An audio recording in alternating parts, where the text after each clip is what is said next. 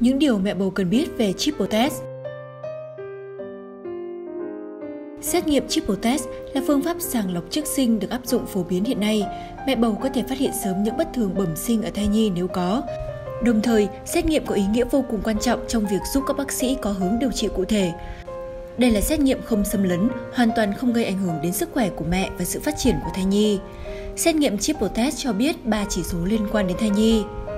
AFP, một loại protein sản xuất bởi bào thai, HCG, một loại hormone được sản xuất ở nhau thai, và estriol, một loại estrogen dạng hormone sản xuất bởi bào thai và nhau thai.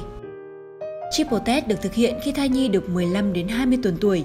Tuy nhiên, để có kết quả chính xác nhất thì nên thực hiện xét nghiệm vào tuần thai thứ 16 đến 18. Tất cả phụ nữ mang thai đều cần thực hiện xét nghiệm này, đặc biệt những thai phụ thuộc nhóm đối tượng nguy cơ cao sau đây rất cần được xét nghiệm. Gia đình có tiền sử dị tật bẩm sinh, thai phụ trên 35 tuổi, trước hoặc trong thai kỳ có sử dụng các thuốc hoặc chất có thể gây hại cho thai nhi, mắc bệnh tiểu đường và có sử dụng insulin, bị nhiễm virus trong thời gian mang thai, làm việc hoặc sống trong môi trường tiếp xúc với hóa chất, phóng xạ liều lượng cao.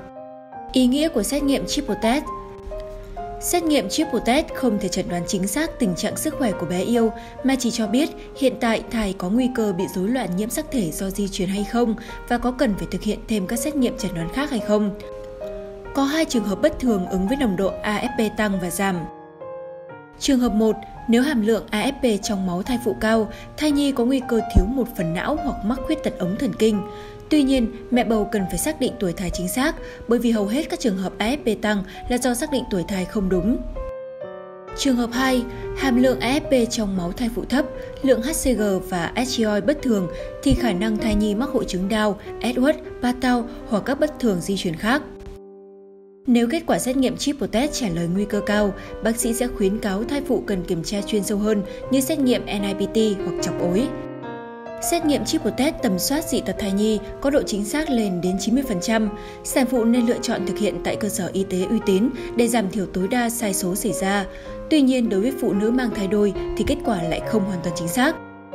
Xét nghiệm triple test là một trong những sàng lọc trước sinh quan trọng nhất trong thai kỳ, giúp chẩn đoán nguy cơ dị tật thai nhi, là cơ sở để các bác sĩ chỉ định thực hiện các xét nghiệm sàng lọc xâm lấn như chọc ối, sinh thiết gai nhau.